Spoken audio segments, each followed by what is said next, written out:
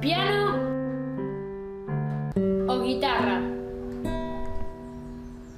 ¿Fútbol o básquet?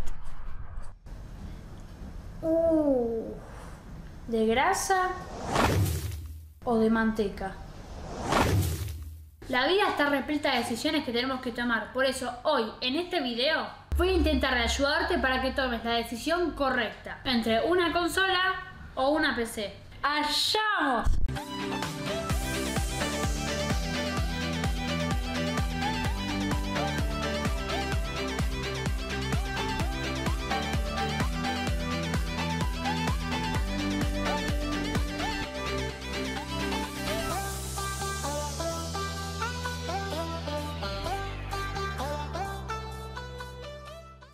Antes de empezar el video quiero mandar dos saludos muy importantes a Colo y a Fede, que son dos amigos de básquet.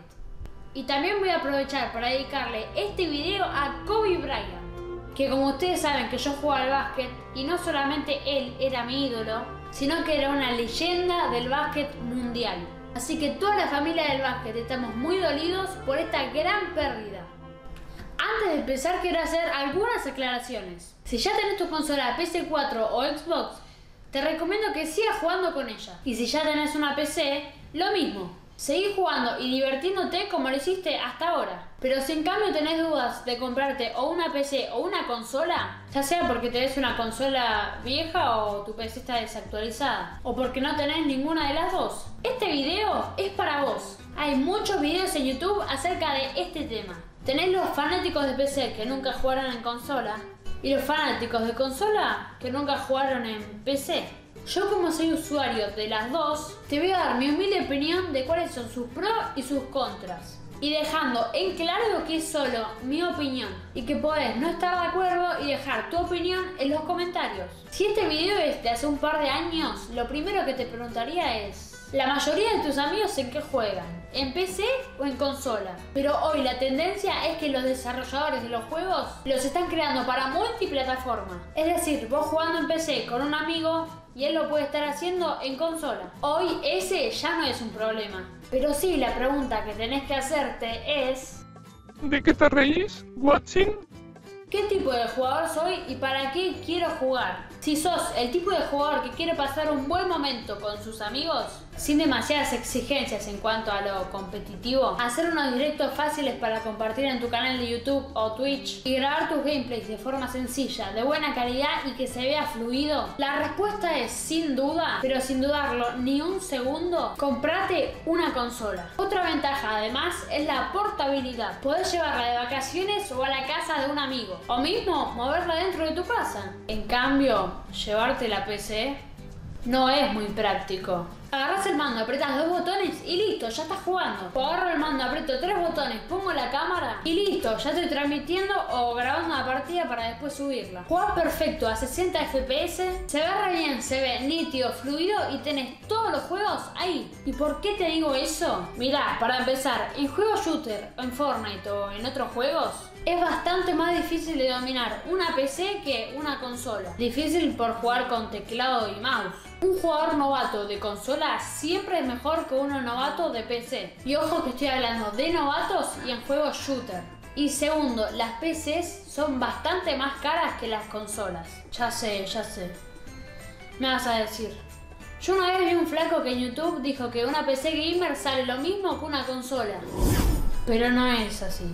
Vos te compras la consola y no necesitas nada más. Y nada que compres va a cambiar sustancialmente el rendimiento. Todo lo que puedes agregarle son boludeces. En cambio, si te compras una PC básica que salga lo mismo que una consola, a eso tenés que agregarle un monitor, un teclado y un mouse. Y seguramente con el teclado de ratón te vas a gastar unos cuantos pesos. Porque los que vienen con el combo gamer no sirven para nada. Además, te vas a dar cuenta que el rendimiento de esa PC económica no va a ser el mismo que una consola. Por ejemplo, si quiero jugar Fortnite, lo puedes hacer perfectamente. Pero si el juego requiere más recursos, como el GTA V o el The Witcher 3, ya se empieza a complicar. Y si quiero borrar la partida, y si quiero transmitir en vivo, ahí ya necesitas de otros programas como el OBS para hacer las capturas o las transmisiones. Y los recursos de esa PC es muy probable de que no alcancen. Para que las capturas de juego te salgan en alta resolución y fluidas, vas a tener que comprar una tarjeta de video que te va a salir casi lo mismo que la PC que compraste. Pero cuando quieras comprar esa tarjeta gráfica, te van a decir que el procesador es muy chico y que se hace... ¿Cómo es que le dicen ellos?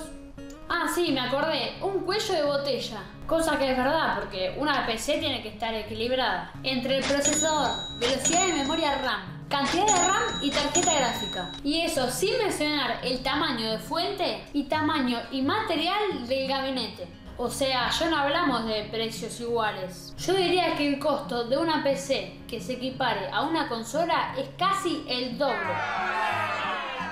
Claro que algunos me van a decir que los juegos de PC salen de un 30-50% más baratos, ya que no tienen que pagar el royalty ni a Sony, ni a Windows, ni a Nintendo. Y también vas a decirme que en PC tampoco pagas los 60 dólares al año que sale el PC Plus para poder jugar online cosa que también es cierto y hay que tenerlo en cuenta. Pero también hay que decir que pagando PC Plus tenés todos los meses dos juegos gratis y ofertas exclusivas muy buenas en distintos juegos. No hice bien los números, pero creo que por ahí se compensan.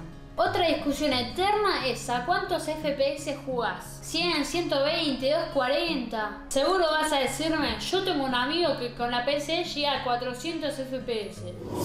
Y pregúntale a tu amigo qué monitor tiene, porque muy seguramente tenga uno de 60 Hz. Y aunque el juego le está marcando que está jugando a 4000 FPS, él va a estar viendo el juego a 60 FPS. ¿Qué por qué?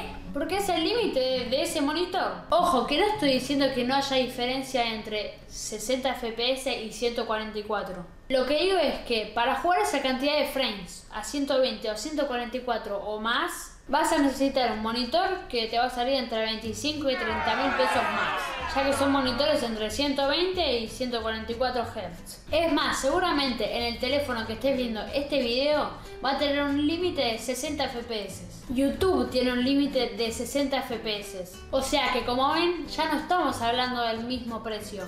Y todo esto sin mencionar que cuando tenés una PC tenés que hacer mantenimientos y empezar a usar otros programas como el que mencioné. Y si no tenés una persona que la tenga clara con la PC, te va a resultar complicado, o como me pasó a mí, tenés que ver 3.000 horas de videos de YouTube para empezar a tener un manejo básico de la PC. Pero aclaro, a mí me gusta. Por lo tanto, si querés jugar con tus amigos y divertirte, grabar tus gameplays o hacer directos básicos, sin muchas pretensiones, de forma fácil, rápida y sencilla. Fácil y sencillo. No lo dudes, comprate una consola. Y entonces, nene, ¿para qué rompiste tanto los quinotos para que te compren una PC? Si en cambio vos sos el tipo de usuario que quiere jugar de forma competitiva, aclaro que no es mi caso. O querés desarrollar un canal de YouTube y editar tus propios videos, o te gusta, además de jugar la fotografía y la edición, aclaro que sí es mi caso. No te pierdas mi próximo video porque de eso vamos a estar hablando. ¿Qué ventajas la PC con respecto a la consola? Charo, es importante que tomes decisiones. Tienes que elegir y hacerte cargo de tu decisión. Yo, por ejemplo, para elegir lo fácil, salada, dulce, salada y listo. Todo no se puede en la vida. ¿Me entendés? Sí, es verdad, Joaco. Tenés razón. Voy a tener que elegir.